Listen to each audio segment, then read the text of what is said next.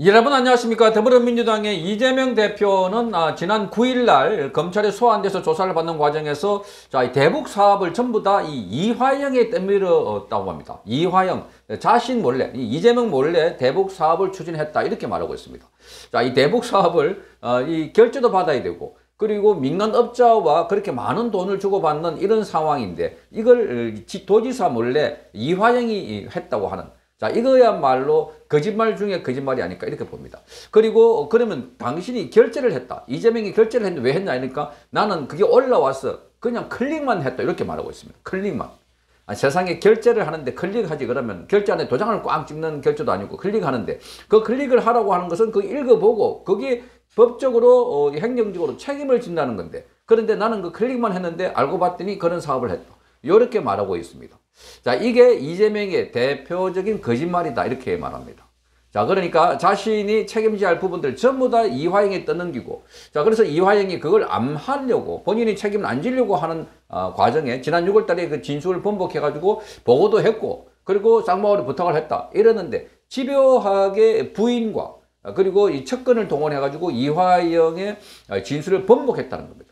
자, 이게 또 다른 조사를 해보면 이화영이 번복하는 과정에서 이재명 어, 측으로부터 어, 많은 뭔가 아, 담보, 약속을 받지 않았을까 이렇게 보이는 겁니다. 어쨌든 이 사건을 보면은 어, 이화영에게 모든 책임을 떠넘기고 있다는 것을 알 수가 있습니다.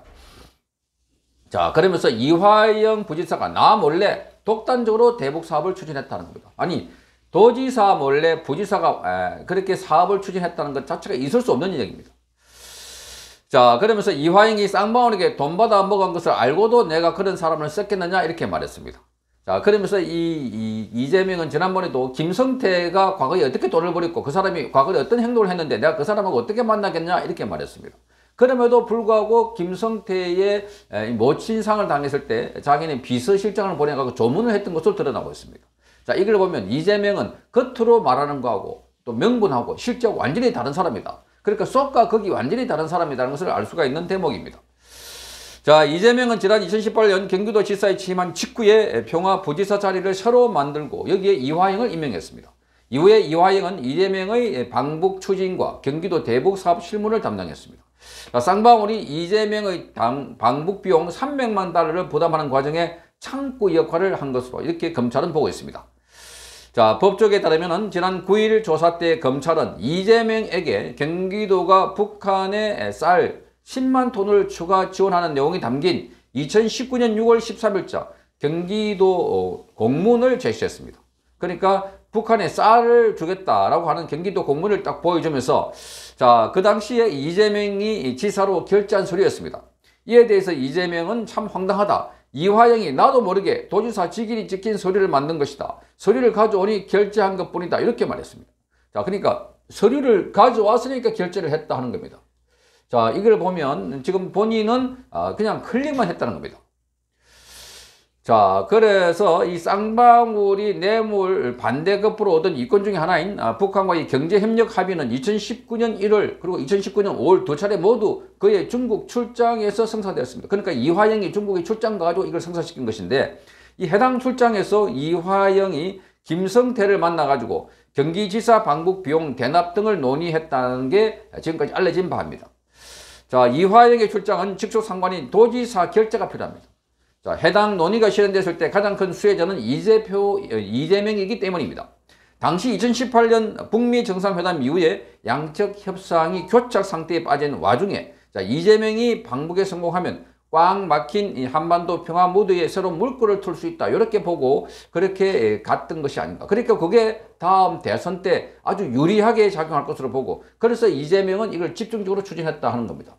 그런데 그것 또한 어, 이화영이 어, 이 도지사인 자신을 몰래 했다는 겁니다. 자, 그 공문은 2018년 말에 에, 북한의 조선 아태비 실장인 김성혜가 아, 이렇게 경기도가 약속한 돈을 주지 않는다 화를 냈다는 이야기를 전해던 이화영 씨가 쌀 10만 톤 지원을 약속하는 친필 편지를 북한에 보낸 것과 관련이 있습니다. 자, 이 이화영이 이재명과 긴밀하게 대북 사업을 논의했다는 정황 증거가 있는데, 자, 이재명은 이화영에게 책임을 떠넘기고 어, 전면 부인을 하고 있습니다. 자, 그런데 도지사가 아, 이 도지사의 이 성인 없이 부지사가 이렇게 사기업을 동원해 갖고 대북 사업을 독단적으로 할 수 없다 이렇게 검찰은 보고 있습니다. 이게 뭐 검찰뿐만 아니라 일반 상식적으로 보더라도 자, 부지사가 자, 이 대북 사업을 하는데 그리고 돈이 많이 들어가는데 그거를 도지사 승인도 안 받고 보고도 안 하고 그 몰래 했다는 거 말이 안 된다는 겁니다. 그러니까 이게 이재명의 거짓말이다 하는 겁니다. 그러니까 이재명은 혼자 살기 위해서 온갖 거짓말을 어, 내뱉고 있으면서 전부 다 그걸 이화영으로 떠넘기고 있다. 그러니까 이화영이 처음에 어, 맨 처음에 이재명이 대통령 될 줄 알고 그래서 기다렸다가 본인이 이, 이 범죄 혐의로 몰고 가다가 그리고 어, 또 이재명이 대통령 떨어지니까 그러면 다음 대선에서 이재명이 당선되면 곧 나올 수 있다. 자 이렇게 보고 기다리는데 그런데 이재명의 선거법 위반에다가 혐의가 한두 가지 아니고 쫙 파노라마처럼 펼쳐지니까 이화영도 그래서 진술을 번복하고 지난 6월 달에 이재명에게 보고했다 이렇게 말했습니다. 자 그러자 이 이재명은 이 사건만 보더라도 본인이 이 남북 관련된 사업 유엔 제재 위반에다가 그리고 제3자 뇌물에다가 어, 이 평생 감옥에 있어야 될 것 같이 보이니까 그래서 온 역량을 동원해 가지고 진술을 뒤집었다는 겁니다. 자 이런 상황에서 지금 이재명은 또다시 이화영이 전부 다 했다. 그러니까 그렇게 하고 어, 이화영이 진술을 번복한 걸 확인하고 이렇게 지난 9일 날 검찰에 출석했던 것이었습니다. 검찰에 출석하고 난 뒤에도 자 그 내용들이 질문이나 딱 보니까 완전 이재명의 혐의가 명백하게 딱 드러나니까 그걸 파악하고 그냥 서리, 서명 날의를 거부하고 일방적으로 퇴청을 해버렸습니다. 자, 그리고 이 이재명은, 어, 이 오자말자 국회에서 들어 누워서 이제, 어, 건강이 악화됐다. 뭐 이렇게 하고 있습니다. 그런 가운데, 에, 검찰에서 이재명에 대한 추가 소환 조사 없이 바로 영장 청구에 들어간다고 하니까 또다시 오늘 검찰에 출석하겠다 했습니다. 그것도 오후 1시 반에. 그러니까 1시 반에 출석해서 한 두세 시간만 받겠다 이겁니다. 자, 이러니까 어, 검찰로서도 뭐 사실 이재명의 조사를 통해서 이재명의 혐의를 입증하는 건 어렵다고 보고 이재명이 협조를 하지 않고 있기 때문에 그래서 이재명을 불러서 확인하는 절차만 거치고 자, 답을 하면 하는 대로 안 하면 안 하는 대로 영장을 청구할 것으로 알려지고 있습니다. 그러니까 이재명은 오늘 출석하고 난 뒤에 검찰은 수사를 종결하고 쌍방울 대북 성공 사건과 관련해서 이재명에 대한 구속 영장을 청구할 예정입니다. 자, 이재명은 지난 9일에는 아, 8시간 조사를 받은 뒤에도 서명 날인도 하지 않고 나왔습니다.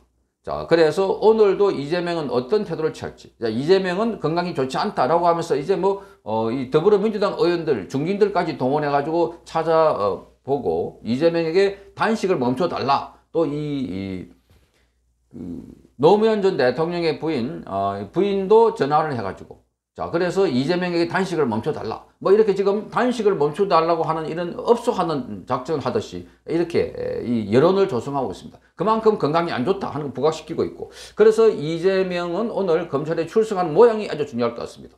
자, 이, 지난번처럼 제대로 걸어서 나오기는 힘들 것 같다. 자, 그러면서 뭐, 어, 실려가든지, 휠체어 타고 가든지, 이렇게 해가지고 가서 또 조사를 받다가, 아, 어지럽다. 이렇게 해가지고 쇼를 할 것, 할 것 아닌가 이렇게 보이는 겁니다. 그럼에도 불구하고 그 검찰은 이재명에 대한 영장을 청구할 것으로 보이고 이재명은 극도로 동정 여론을 만들어서 이런 상황에서도 검찰이 영장을 청구할까? 이런 상황에서도 어, 법원에서 영장을 어, 또 발부를 할까? 자, 요런 걸 가지고 지금 이재명은 검찰과 이 씨름을 할 것으로 보입니다. 자, 교묘하게 지능적으로 자, 구속을 피하기 위해서 온갖 수단과 방법을 다 쓰고 있는 이재명의 운명. 자, 오늘을 기점으로 크게 갈릴 것으로 보입니다. 성창경 TV였습니다.